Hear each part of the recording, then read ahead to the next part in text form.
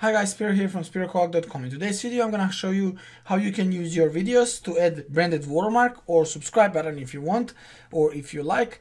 That will help you grow your channel a little bit faster. So uh, if you wanna add one of these into your channel, make sure you watch this video all the way to the end because I'm gonna show you how. But before we go into it, I just want to let you know that here at my channel, we talk about how to make money online, how to quit your 9 to 5 and earn your freedom.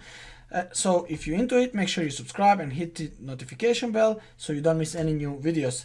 Besides that, in about two weeks, I'm releasing my first video ranking course uh, in which I'm going to take you through the step-by-step -step journey of researching topic, uh, creating a content for, for a topic, which words, which keywords you have to use in order to get YouTube search engine algorithm triggered and how to get and rank to the top of the search engine result pages. Uh, with that being said, guys, uh, we're ready to continue with this video. So let's hop into my computer and, and I'm going to show you how to add this subscribe button.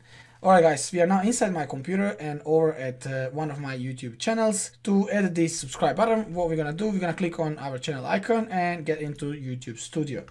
Once you're inside YouTube Studio, just click on settings on the left menu and then click on channel and branding.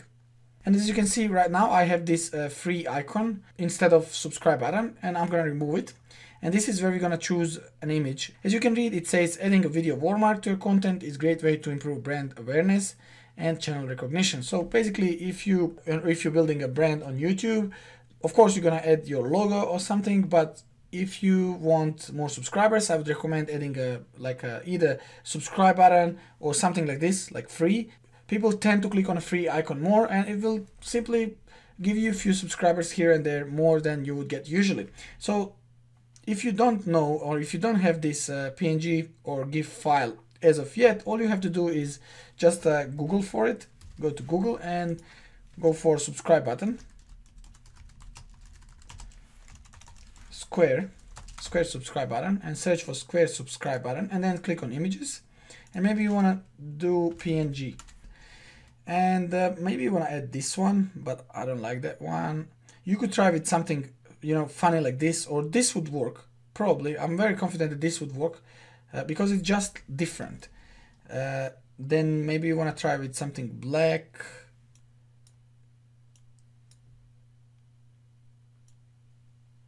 Like that one. Yeah let's see. Then click right click on the image open a new tab and you can save this as a png square brand YouTube subscribe logo button. Beautiful. And here are some other ones. I don't like any of these. And this black one. And this one even it says it's PNG it's not PNG it's most likely the white background but let's see. So what, what you're gonna do then you're gonna go to Canva which is a free tool. You can register for free and then click create design and custom dimensions and write down your dimensions 150 by 150 and now you want to upload these images that we just download. So first thing you're gonna do you're gonna double click here and then you're gonna select the color. And then you're just gonna add your photo on top of it. That's it. And publish. Actually it has a little black mark here. Or is this good? It's good. Publish download and you wanna you don't want transparent background for this one then you click download and save your file as branded watermark. Now to update this watermark we're gonna click here choose image and select this branded watermark. If you try to upload this one which is too big 633 663 by 663 it won't work. So you want to add this 150 by 150 file and then you want to select display time, whether you want it to add only at the end of the video, at the last 15 seconds of the video, you want to select a custom start time, or you want to edit through the entire video. And I'm just going to click through the entire video and click save. And once settings are saved, just open up your channel.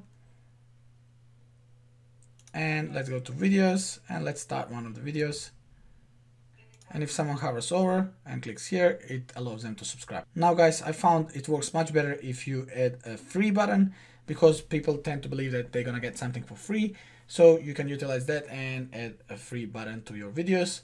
Also guys, if you found this useful, make sure you subscribe and hit the notification bell so you don't miss any new videos. Uh, and yeah, uh, if you want to find out more about the upcoming course, check the links down below in the description. For your convenience, I'm to leave two really interesting videos on the right hand side. So make sure you check these cards on the right hand side. Uh, and uh, with that being said, we got to the end. Thanks for watching. I'll see you again.